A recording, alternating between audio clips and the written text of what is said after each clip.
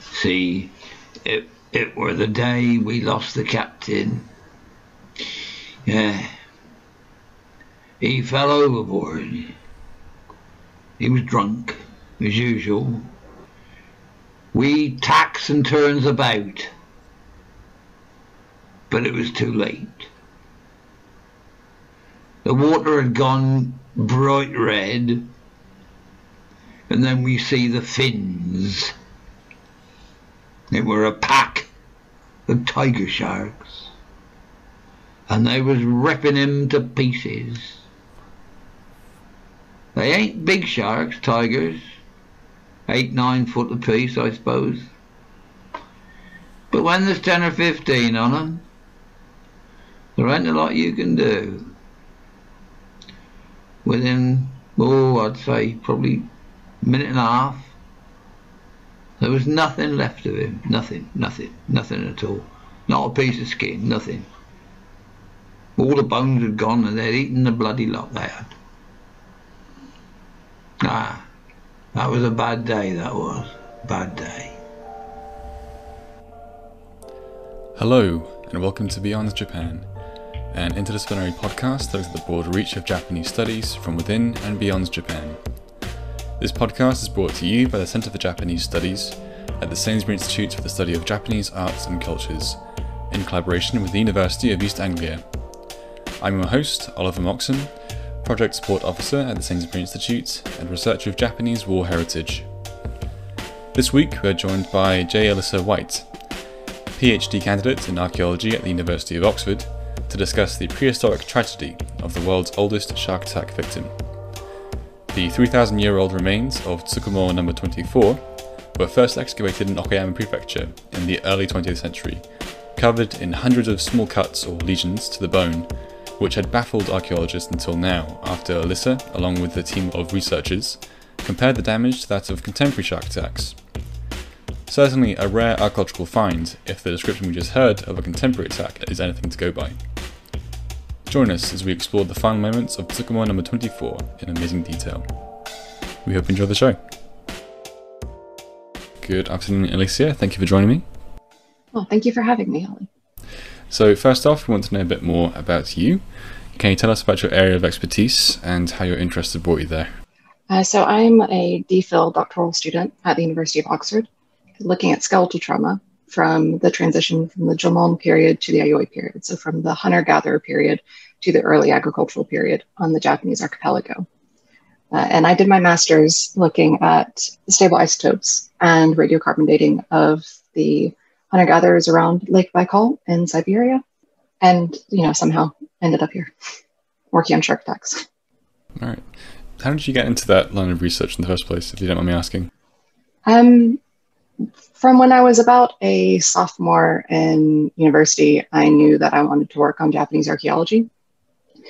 And there wasn't anyone in Auburn, Alabama really doing that in the States. So I had to kind of find a way to make connections and learn about the archaeology itself. And so I, I was studying Japanese language and I knew that I loved anthropology. And I just decided to combine both of them in graduate school and was fortunate in that I could work with um, Rick Schulting, my supervisor, and then my external co-supervisor, uh, Mark Hudson, um, on this particular project. Right. So, how did you get to looking at traumatic damage to archaeological skeletons? So, I was really intrigued by the transition from the Jomon to the Yayoi period, and violence and warfare have been looked at and the role that they played in that transition and in the periods of in and of themselves. But actual analysis of the skeletal remains for evidence of violent trauma in a systematic way hadn't been done yet. And I really wanted to compile that kind of data and be able to say something a bit more substantive about that question because there have been some really excellent review studies done looking at previously reported skeletal injuries and tying that into violence and warfare. But if you're not going in and looking at the skeletons in a lot of fine detail in a consistent manner, you tend to miss a lot of things. Additionally, these are, you know, kind of site reports and studies that have been compiled over years Uh, so you're not using similar methodology throughout, which is natural. So it it makes it a bit more difficult to say things with a great deal of detail and with a great deal of with the amount of nuance that I wanted to. I see. Fascinating.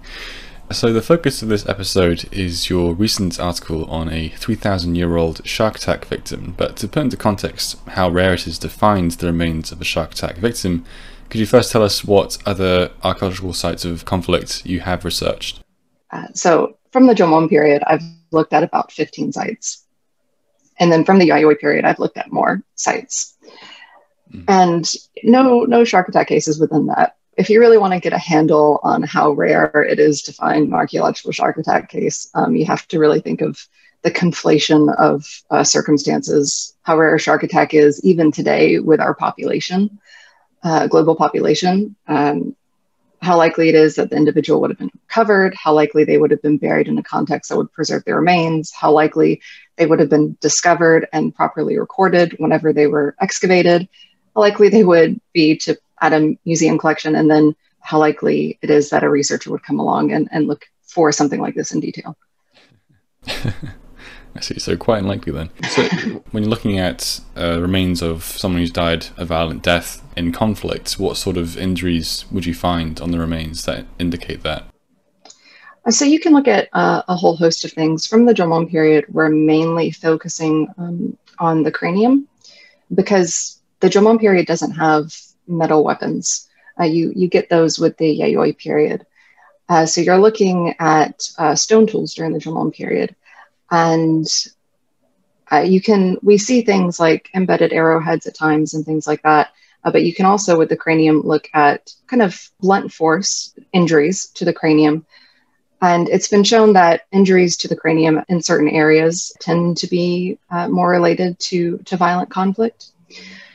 So that's what we were doing with the Jomon. And then with the Yayoi, you can get things like that with kind of blunt force injuries. We tend to get more sharp force lesions from metal weapons. And also, uh, there, there are some really, I say nice, but I, by nice, I mean very clear uh, cases of things like bronze sword tips being embedded in people's spines and things like that. Wow. Uh, you can, yeah, exactly. You can argue that that's really the most direct form of human conflict you can ever get. Uh, there's only so many reasons that an arrow or a sword is going to be in someone's back. uh, so that's the kinds of things that you can look at. Mm-hmm. Okay, so I guess in, this, in that in that sense, uh, well, we'll turn to your shark attack victim now, and uh, that that should show how unusual it must have been to find these kind of injuries on a Jomon era uh, skeleton. So this shark attack victim is affectionately named uh, Tsukumo number 24. So our listeners can make a mental image. The remains of the victim are covered in deep, sharp lesions with fractures to the ribs and pelvis, and they're also missing a right leg and left hand. In the article, you mentioned that, that the remains were excavated in the early 20th century, yet the cause of death had not been determined until now. How do you come to the conclusion of a shark attack, and what else do we know about the victim as a person? That's correct. So this individual, uh, number 24, is from Tsukumo um, along the Seto Inland Sea in Okayama Prefecture. And he was excavated um, around 1920 um, by one of the excavations led by Kenji Kiyono, who was an archaeologist at Kyoto University, uh, which is why his remains are there now. And we know that he uh, didn't have his right leg and his left hand at the time of burial because there are photographs from the original excavation, which is absolutely brilliant. We didn't know uh, that this individual had all of these lesions, traumatic lesions, all over his body whenever we went to Kyoto University to investigate him. Uh, we went in 2016 for just a couple of weeks. Um, my supervisor, uh, another doctoral student, and I and literally in the last hour, we opened the box that has his remains in it.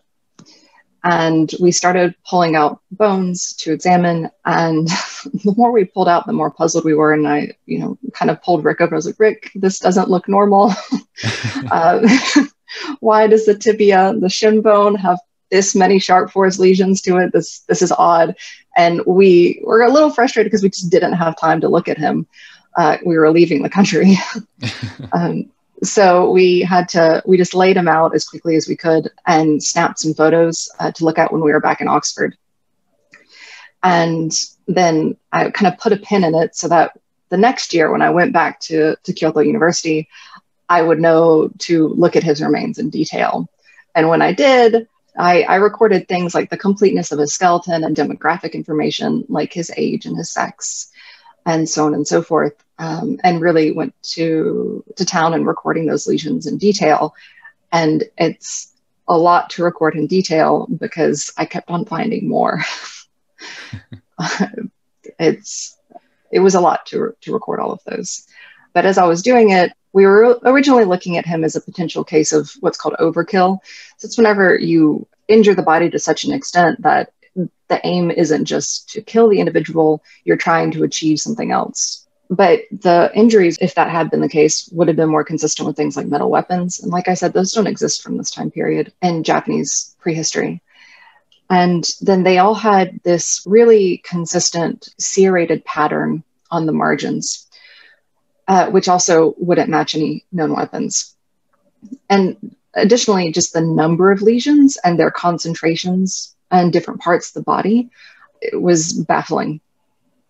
So I was emailing Rick through all of this because he was up in Hokkaido doing his own data collection. And I was like, I don't know what these are. Uh, so we kind of ruled out human conflict because it didn't make sense. And then we began to look at things like terrestrial carnivores. There aren't that many of those in Japan, or scavengers, uh, terrestrial ones. And these weren't matching the lesions that we were seeing. And then uh, we started to, to look further afield, and that's whenever we started to look at things like marine scavenging, because I had heard it suggested that maybe these were caused by something like crab scavenging. And uh, when I first, you know, kind of threw that over to Rick, I was like, well, someone said this. Uh, he said, well, I was at a crab restaurant last night uh, in Hokkaido, and I was looking at the crab claws, and I just don't see how it could happen. it's like uh, we, we just weren't convinced. Uh, and then we just stumbled across an image of a femur from a shark attack victim. And it was really just kind of a eureka moment. We we're like, oh, that matches it really well. And the more we looked into shark attack cases, the more we could see where it matched up. It had these serrated lesions like tiger sharks and white sharks have, and their their, their teeth are serrated, so it would match that. Um, the pattern made sense. And we reached out to Mr. George Burgess, who um, is associated with the the International Shark Attack file, and we we asked him, you know, do you think this could be a shark attack? We don't have experience with shark attacks as archaeologists, uh, and he was very quick to to confirm our suspicions.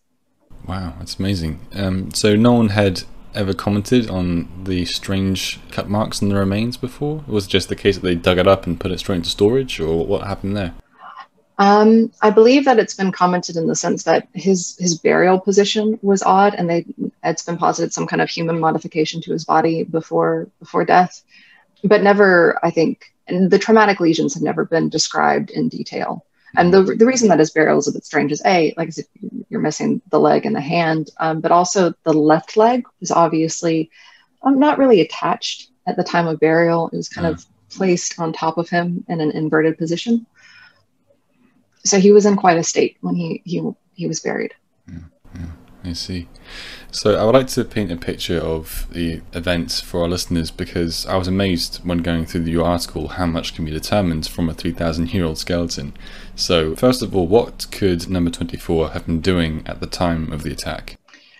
So the Jomon were fisher hunter gatherers and the archaeological artifacts from Tsukumo are consistent with that. So you have things like fish hooks, He's buried in a shell mound, uh, you know, which is a shell midden created by uh, human consumption of shellfish.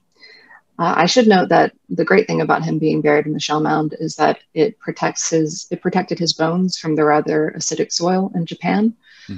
uh, so that there is a skeleton. Because if you just most pit burials from the Jomon period that aren't buried in shell mounds don't survive. The, the human remains are, are gone. You might have the artifacts, but that's about it.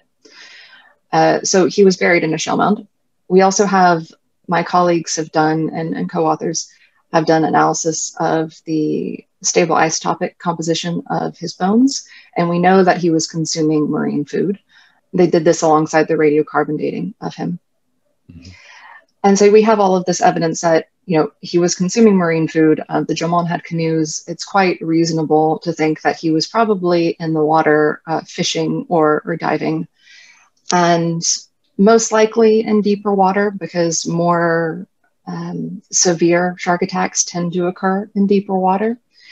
And most fatal shark attacks that are unprovoked tend to either be bump and bite or sneak attacks. Uh, so, bump and bite is kind of how it sounds. They'll kind of bump against you before they attack you and kind of suss you out. Uh, sneak attacks, you don't have any indication that the shark is around and then they attack you. So, both of those situations are quite likely. And his right leg was most likely either lost in a bite or it could have just been damaged to such an extent that no one could recover it um, when they buried him. But there's bite marks around the hip that suggest that it's definitely a part of the attack. There's also bite marks around the left wrist. It actually looks like it's been completely sheared off almost. And you don't tend to get attacks to the hands in shark attack cases unless it's a, a, defensive motion because there's there's not a lot of meat on the hands. The, the shark's going to target more the legs and the buttocks and the abdomen that have more things that are uh, appetizing to it. um, it, get, it gets quite gruesome. Um, so I want to be mindful of the listeners. But the, the hand, that's most consistent with being lost in a defensive motion. So we can posit that he was, and especially with the the majority of lesions being concentrated to the lower body as well, we can posit that he was probably swimming and then defending an attack from below. Right. I see. Amazing. So he was most likely alive when the attack happens and probably bled out shortly afterwards after losing his right leg. You also suggest that the shark fed on him for a while afterwards. How do you think his body was then recovered and ended up being buried at Tsukumo Cemetery? So we think his body was fed on afterwards um, just because of the sheer number of lesions on him.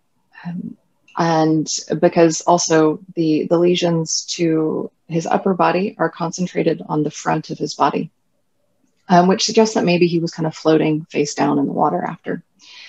It's most likely that companions recovered his body relatively quickly because his body wasn't out in the water for a long period of time his body is really quite complete, uh, except for the the the parts that were lost, um, most likely due to the traumatic incident.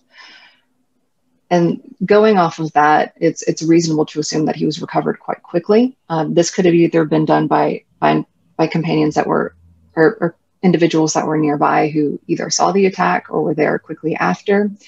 His body could have also been washed ashore. Um, but the way that you would test for that is to look for things in a living victim, you would look for things like water in their lungs. And, and we can't do that with him. But the most likely scenario is that he, he was recovered quite qu- quickly by people who knew him. Yeah. As you mentioned, he was probably in deeper water when the attack happened. So for his body to wash up on shore again, it must have taken a while and there'll be signs of scavenging, correct? Mm, so that can, I, I, believe that can depend on the tides as well. Mm-hmm. Uh, and it doesn't have to be incredibly, incredibly deep water. So we, we get into a bit of a gray area where we have more likely scenarios than others. Right. Okay. But his body certainly wasn't at sea for a very long time. Mm-hmm. Okay. So the article very clearly states from the start that shark attacks are indeed rare, according to modern records. What does uh, number 24 tell us about human shark encounters in Jomon, Japan? So it tells us just another, I think, risk of a fisher hunter gatherer kind of lifestyle. That that's a very rare risk, uh, but it can happen. And shark teeth are present throughout the archipelago and, and shark vertebra as well. Um, there's actually some caches of shark teeth from sites not not near Tsukumo. Uh, we don't think that Tsukumo Kaizuka, like that that group, was doing anything like shark hunting. Um, there is one shark tooth from, from Tsukumo Shell Mount, but other sites from the Jomon period have these caches of shark teeth that indicate it might be possible that they were either going out shark hunting or participating in opportunistic shark hunting. And there's also things like ornaments, um, shark teeth ornaments buried with individuals uh, so you have human shark relations definitely going back far in time. And this is just just one instance of those, a, a very tragic instance, but just one of them. I see. And just one last question: What do we know about number twenty-four from the way that he was buried? Uh, is being buried in shell mound something that was reserved for people of high status? No, uh, it's he has quite a normative burial. Um, and like I said, but before now, uh, other than his his odd burial position, which we can now pretty much link to just the state of his body at the time, um, uh, hasn't been noted a, as particularly extraordinary. And I think that's that's worth thinking about. Is just that he was um, a normal individual within his community um, and was cared for.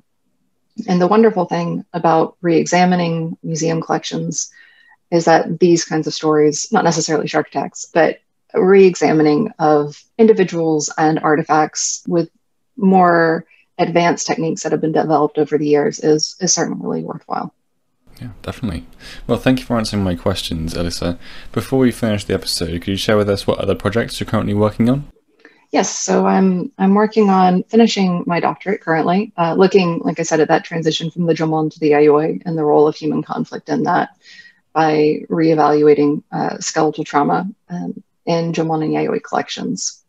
But we're also looking at, and we did this for, for a shark attack victim.